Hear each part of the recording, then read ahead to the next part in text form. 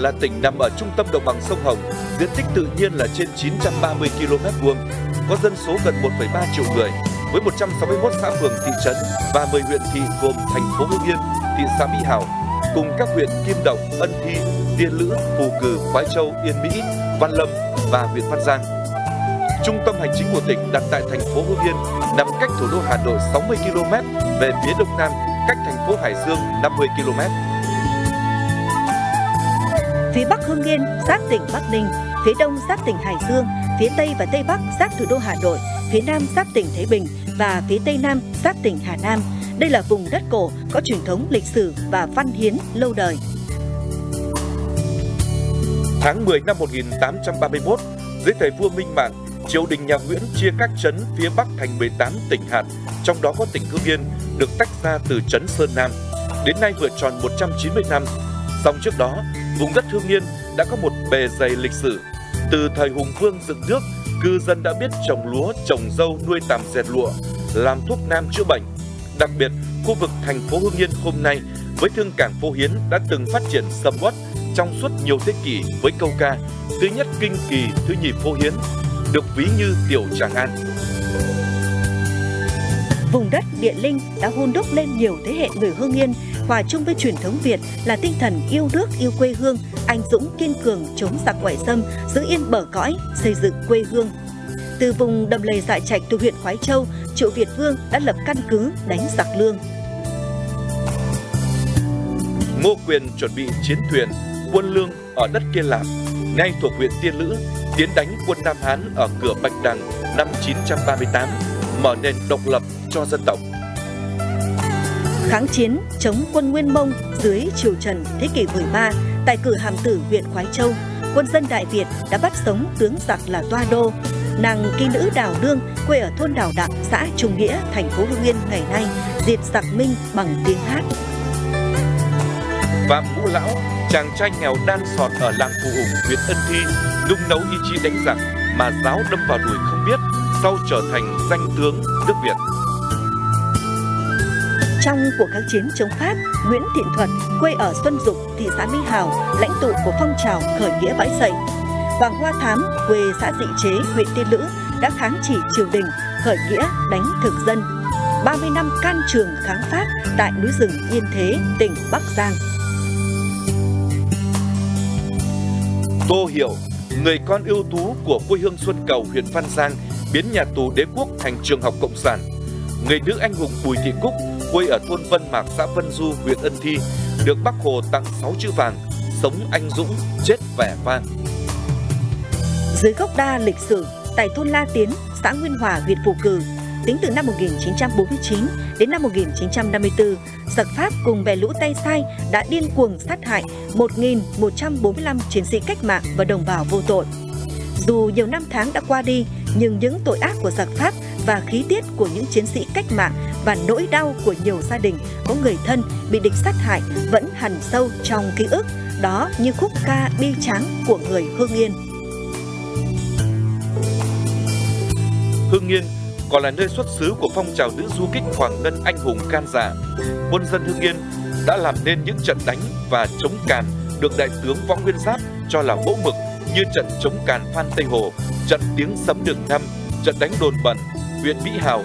hay làng kháng chiến Tam Đông, huyện Tiên Lữ đã làm giặc Pháp bạt vía kinh hồn. Trong kháng chiến chống Mỹ, quân dân Hưng Yên tiếp tục đóng góp sức người sức của với tinh thần thóc không thiếu một cân, quân không thiếu một người, cùng cả nước đánh thắng giặc Mỹ, thống nhất đất nước.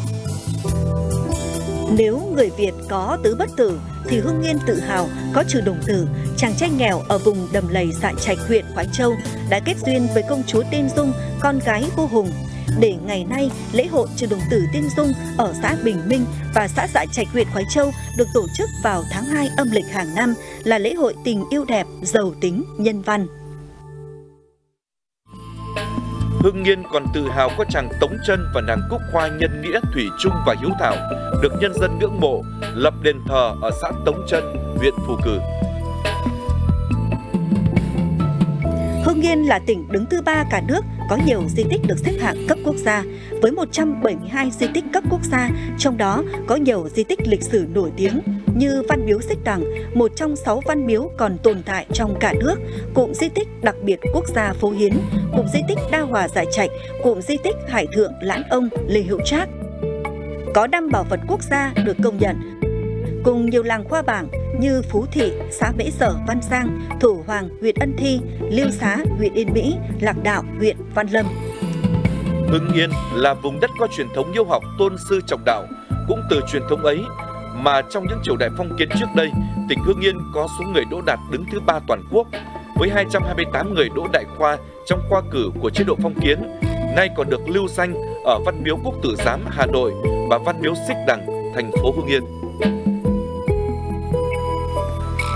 Hưng Yên tự hào là quê ngoại của Chủ tịch Hồ Chí Minh ở thôn Vân Đội, xã Hồng Tiến, huyện Khói Châu. Đảng bộ và nhân dân Hưng Yên vinh dự và tự hào được Chủ tịch Hồ Chí Minh 10 lần về thăm nói chuyện với cán bộ và nhân dân trong lúc sinh thời. Hưng Yên là quê hương của cố Tổng Bí thư Nguyễn Văn Linh, nhà cách mạng kiên định sáng tạo, kiến trúc sư tài ba trong công cuộc đổi mới đất nước. Hưng Yên cũng là vùng đất địa linh đã sinh ra nhiều danh nhân, tướng lĩnh, văn nghệ sĩ và trí thức lớn của đất nước như kinh sư Đại Doãn Nguyễn Trung Ngạn, Hồng Hà nữ sĩ Đoàn Thị Điểm, đại danh y Lê Hữu Trác, tiến sĩ thi sĩ Chu Mạnh Trinh,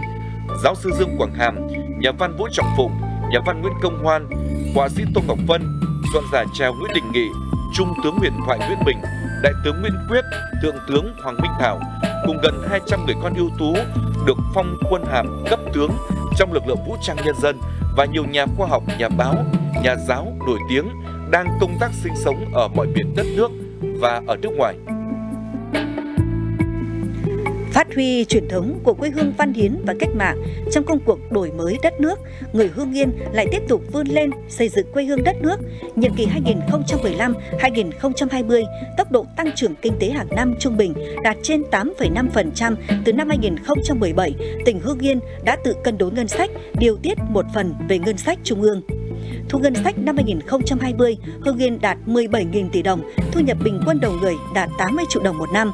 Toàn tỉnh đã quy hoạch 15 khu công nghiệp tập trung với trên 2.000 dự án đầu tư, trong đó có trên 1.000 dự án đang hoạt động, đưa Hưng Yên trở thành tỉnh có tốc độ phát triển công nghiệp nhanh trong cả nước. Năm 2020, Hưng Yên là tỉnh thứ ba trong cả nước hoàn thành xây dựng nông thôn mới,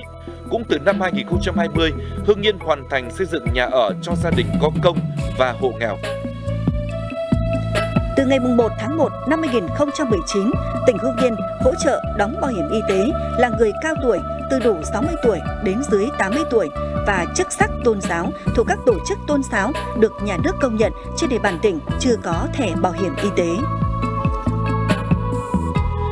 Phát huy thế mạnh là trung tâm đồng bằng châu thổ sông Hồng, phù sa màu mỡ, Hưng Yên luôn coi trọng phát triển nông nghiệp với những vùng chuyên canh lúa hàng hóa chất lượng cao, nổi tiếng là giống nếp thơm Hưng Yên. Nói đến Hưng Yên là nói đến quê hương của nhãn lồng nổi tiếng với câu ca dù ai buôn bắc bán đông cũng không quên được nhãn lồng Hưng Yên. Cây đặc sản này được trồng nhiều ở thành phố Hưng Yên, huyện Tiên Lữ, huyện Phù Cử, Ân Thi Kim Động và huyện Khói Châu. Ngoài nhãn lồng, Hưng Yên còn là quê hương của các loài sen, đặc sản vải trứng không đâu có ngoài huyện Phù Cử, Ân Thi, gà Đông Tảo ở huyện Khói Châu, cùng những trang trại chăn nuôi VAC, nuôi ong lấy mật, những vườn trại, những cánh đồng chuyên canh trồng cây ăn quả, hoa cây cảnh ở huyện Văn Giang, Khói Châu, Yên Mỹ cho giá trị cao. Phát huy lợi thế nằm trong vùng kinh tế trọng điểm Bắc Bộ, giáp với thủ đô Hà Nội, Hưng Yên có hệ thống cơ sở hạ tầng, đường giao thông thuận lợi và đồng bộ, đường thủy qua tuyến sông Hồng bao phía Tây tỉnh, sông Luộc bao phía Nam tỉnh. Ngoài đường sắt Hà Nội Hải Phòng đi qua phía Bắc tỉnh, hệ thống đường bộ qua quốc lộ số 5, đường cao tốc Hà Nội Hải Phòng chạy qua Hưng Yên, đường nối hai đường cao tốc Hà Nội Hải Phòng và cầu rẽ Ninh Bình, quốc lộ 39, đường 200, đường liên tỉnh Dân Tiến, cầu Thanh Trì Hà Nội, đường ven đê sông Hồng, cầu Yên Lệnh, cầu Hưng Hà bắc qua sông Hồng nối Hưng Yên với tỉnh Hà Nam, cầu Triều Dương, cầu La Tiến bắc qua sông Luộc nối Hưng Yên với tỉnh Thái Bình, mở ra cơ hội cho việc hình thành các khu công nghiệp tập trung, tạo động lực lớn thúc đẩy kinh tế địa phương phát triển, góp phần thực hiện thành công công cuộc công nghiệp hóa, hiện đại hóa. Rồi đây, đường vành đai 4 đi vào thi công và hoạt động với tổng chiều dài toàn tuyến gần 100 km, gồm 6 làn xe cao tốc và đường gom đô thị kết nối thủ đô Hà Nội với tỉnh Hưng Yên và tỉnh Bắc Ninh.